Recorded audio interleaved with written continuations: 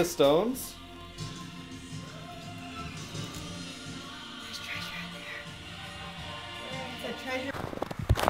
Hey everyone, how's it going? My name is Sean Hodgins and welcome back to my channel. So this is part two of the Arduino geocache locator. I think that's what I called it.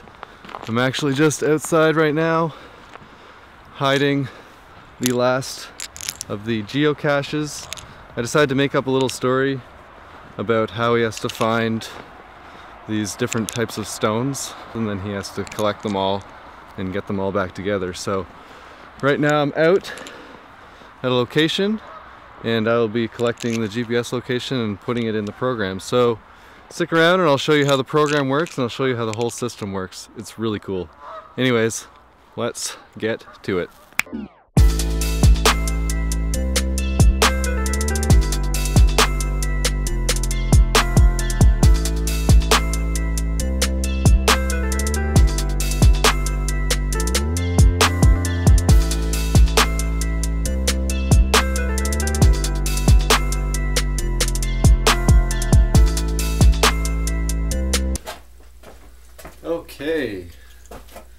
Now that we have placed all of the geocaches in their locations, hopefully they don't get stolen, I can uh, show you how the program works. Now, it's all programmed, everything does work that I want to work right now. However, I'm in the basement, so this is what it does when it is looking for a GPS signal, and you can also choose the different locations, places where these are hidden, based on the color that it first shows on the ring. You can push the button and it will change the location. I've programmed in four different locations and I've put together a little story about how these rocks have become separated and he needs to collect them and then he'll use this to navigate to the locations and the map will show their respective colors so he understands. Anyways, uh, let's go through the program so I can show you how everything works and how the program works so you understand so you can modify it for your own locations. To start off we're using the wire library which is for I squared C um, and then the HMC 6352 library that's for the compass and then Tiny GPS this is a library that is incredible works really well for collecting GPS information these are my entered in locations. I've obviously modified them so you don't know where my geocaches are. Then the current destination and the last destination are just choosing which two of these are currently selected. So if it was zero, it would be these two. If it was one, it would be this, this one and this one for the Latin long. And that just cycles through them. That's the basically the menu system. This in red green blue that is for selecting when it gets closer and further. That's for making the LEDs illuminate. Then we're using the NeoPixel library from Adafruit, which is obviously incredible. It works really well with their NeoPixel ring. So then we define the button, which is pin 4. Then this pin, this is for the NeoPixels, pin 1, and the number of pixels on this ring is 16. So that's that number there. And here's some random variables that I use. Spread, dir course, and destination distance. So spread is going to be how far the LEDs spread out depending on how close you are. So the further away you are, the less LEDs will be illuminated so you know you have to get closer to it. And as you get closer, it spreads out. So that's how you're kind of aware. And I've got some distance parameters in there. Uh, this is just defining the GPS to know where it gets its information from. Then we've got the setup, so we set up the button, uh, begin the I squared C. We initial both the serials on the trinket because one is the USB and one is the pins. We turn the button into a input with an internal pull-up because I didn't add any resistors. We begin the NeoPixels. That just initializes the NeoPixels for the I squared C things to check and see if the GPS is working. That's what that colorful light was. Rainbow cycle. It's waiting for the GPS. And once the GPS is enabled, it goes into the current destination and it shows the color of the destination that you're trying to get to right now. Now this program, obviously, it's a little messy. As with every gift, You never have enough time to make it perfect. You're almost always rushing. So it works, but it's messy. This again is just checking the state of the button, whether it's pushed, and if it does push, it runs this routine, destination change, which obviously switches the menu.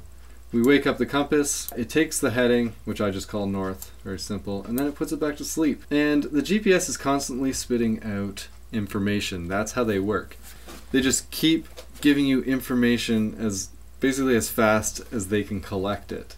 And that's normally the limiting point of a GPS. So it's trying to see what information's coming in, and then if the location has been updated, in this case it says is valid, then it's actually going to check the distance to that. And these are all built into the library. This library is really incredible. It's got so many features. So this will actually calculate the distance which we're going to use to display how wide the LEDs show. This will actually show the course to that. We get the course that is just from this box without a direction. So now that we have the compass, we know which direction the box is, so we have to compare that to the GPS direction. So we do that here. First we determine the spread, so and then we have the course, which is just north minus the course that the GPS gives us.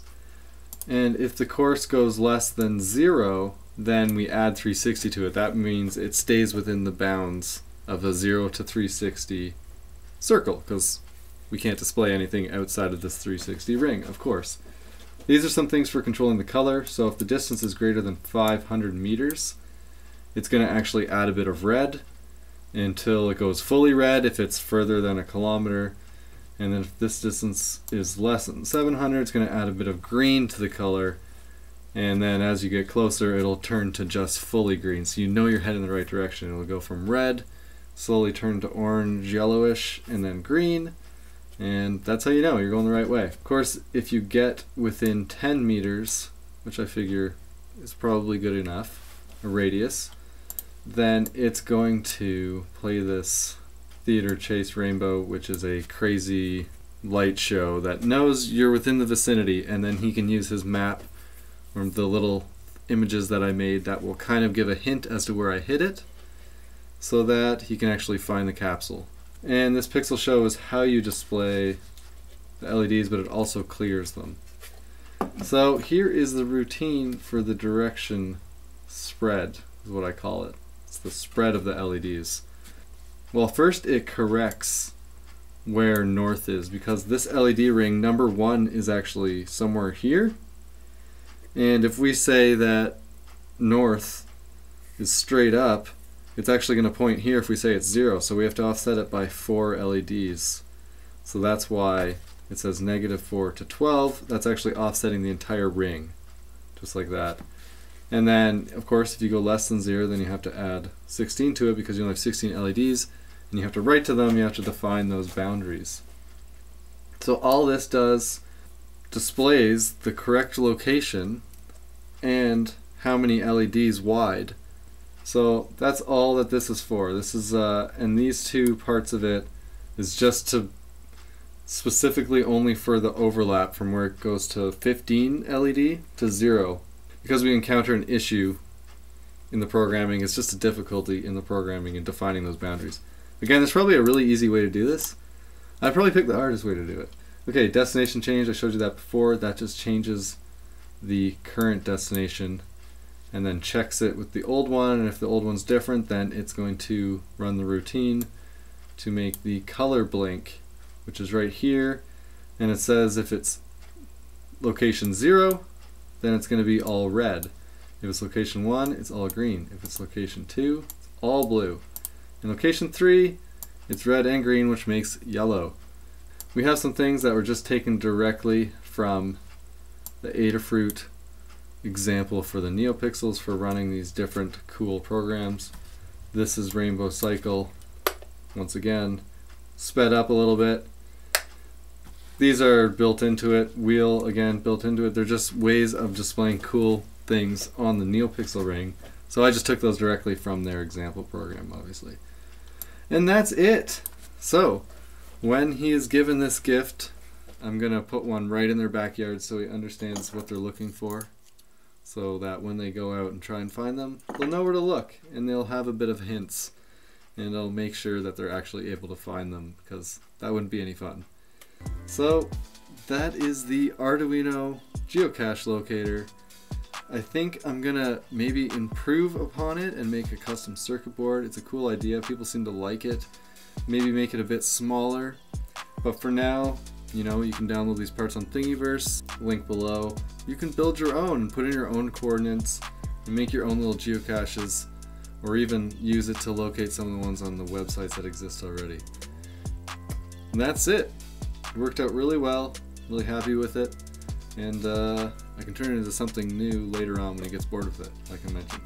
So anyways, everyone, you know the deal. Hope everyone's having Merry Christmas and Happy Holidays. And if you think I earned it, hit that subscribe button, hit that like button, and we will see you in the new year. You know the deal. Be good and have a good day.